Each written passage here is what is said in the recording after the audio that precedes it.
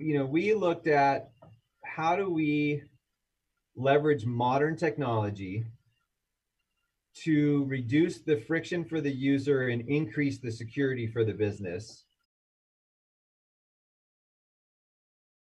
Over 90% of us are using a smart mobile device today that has a biometric enabled function on it, whether that's uh, you're using a modern iOS device with Face ID or even just a more recent one with fingerprint reader or on an Android device, they have their own versions of face or fingerprint reader. Traitware can leverage those biometric features of your mobile device. And as we just discussed, the mobile device is something you possess. Now, what's unique about Traitware and what we have our first couple patents issued on is how we register your mobile device as a secure token. And we generate the way that you interact with your mobile device is different than the way I interact with my mobile device or my spouse interacts with her mobile device, or even if I had a twin, we would interact with our mobile devices differently. How you use your device is so unique, and the mathematical representation that we can generate from that interaction with it separates you to greater than one in 300 billion.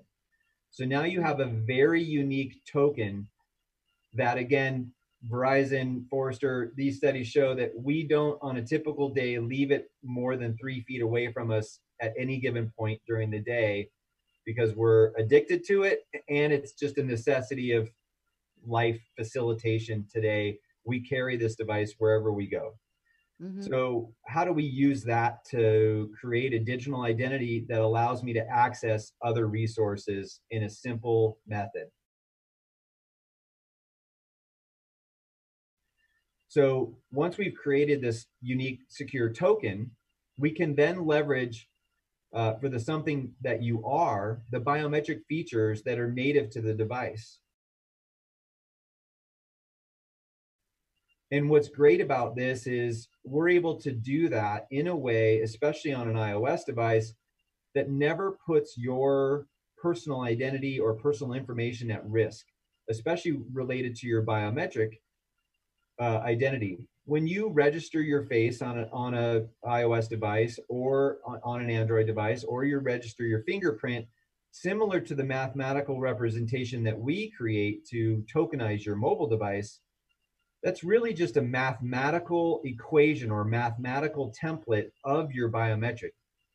It's not actually a picture of your face or a picture of your fingerprint that, if for some reason it was taken could be reused in a malicious way. Apple creates this mathematical representation of your biometric in a secure enclave on the device with an algorithm that they don't even know. They'll never see it, we'll never see it. It never leaves the mobile device.